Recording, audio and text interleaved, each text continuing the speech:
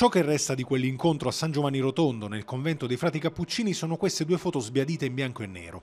In quell'occasione padre Pio lo disse senza giri di parole a Elenio Herrera. Il giorno successivo per l'Inter non ci sarebbe stato nulla da fare contro il Foggia, ma per consolare il tecnico argentino e i suoi calciatori il frate aggiunse che i nerazzurri avrebbero vinto il campionato. E così fu. Nel 1965 la formazione campione del mondo di Mazzola, Corso, Suarez e Pero si aggiudicò il torneo, ma lo Zaccheria il 31 gennaio subì una clamorosa sconfitta per 3-2 contro contro rossoneri alla prima esperienza in Serie A. Il mago Herrera dunque fu sconfitto dal mago di Turi, il meno blasonato ma molto più sanguigno Ronzo Pugliese, memorabile allenatore del Foggia negli anni 60. La straordinaria vittoria di Satanelli finì sulle prime pagine dei giornali.